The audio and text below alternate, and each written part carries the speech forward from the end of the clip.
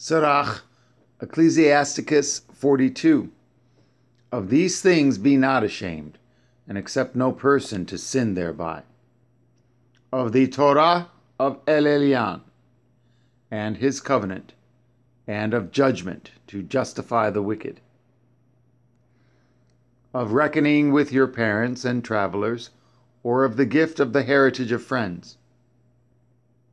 Of exactness of balance and weights or of getting much or little, and of merchants indifferent selling, of much correction of children, and to make the side of an evil serpent, rather servant to bleed.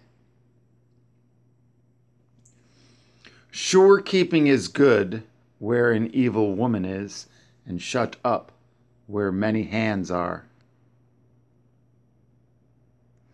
Deliver all things in number and weight, and put all in writing that you give out or receive in. Be not ashamed to inform the unwise and foolish, and the extreme aged that contends with those that are young. Thus shall you be truly learned and approved of all men living. The father wakens for the daughter when no man knows, and the care for her takes away sleep when she is young, lest she pass away the flower of her age, and being married, lest she should be hated. In her virginity, lest she should be defiled and gotten with child in her father's house, and having a man, lest she should misbehave herself, and when she is married, lest she should be barren. Keep a sure watch over a shameless daughter, lest she make you a laughing stock to your enemies, and a byword in the city, and a reproach among the people, and make you ashamed before the multitude. Behold not everybody's beauty, and sit not in the midst of women. For from garments comes a moth, and from women wickedness. Better is the churlishness of a man than a courteous woman. A woman, I say, which brings shame and reproach. I will not remember the works of Yah, rather, I will now remember the works of Yahweh and declare the things that I have seen. In the words of Yahweh are his works. The sun that gives light looks upon all things, and the work thereof is full of the glory of Yahweh.